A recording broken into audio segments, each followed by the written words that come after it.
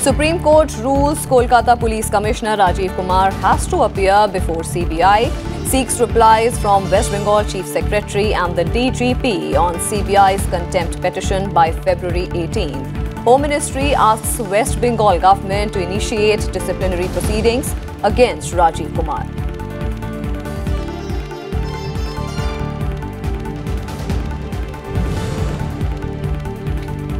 Supreme Court decision a blow to Mamata government says BJP Uttar Pradesh Chief Minister Yogi Adityanath calls for her resignation on moral grounds. Mamata claims moral victory ends dharna in Kolkata.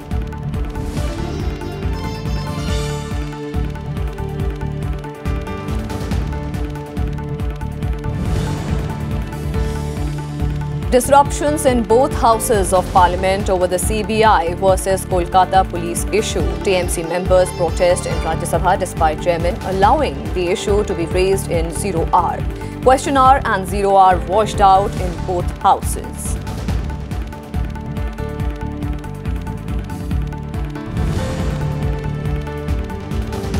India Monaco pledged to deepen relations and trade and investment, renewable energy, and combating climate change.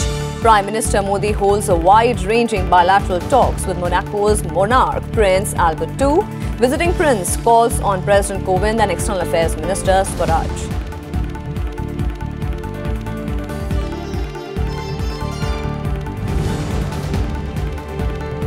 And ISRO set to launch communication satellite GSAT-31 from French Guiana at 2.31 am tomorrow.